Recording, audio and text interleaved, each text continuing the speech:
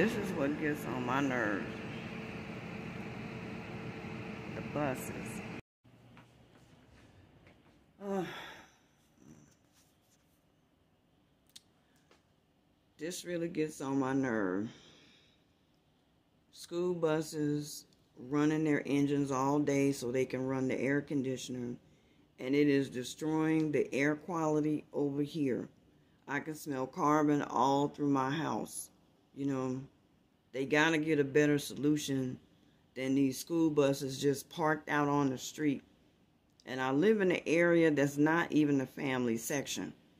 You know, there are no children in this section where I live, but the school buses are parked right in front of our houses and they run their engines all day and all that exhaust is coming in here.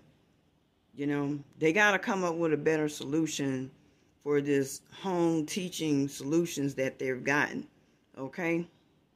I'm just saying, not trying to be insensitive to people who don't have internet, but I pay for my internet.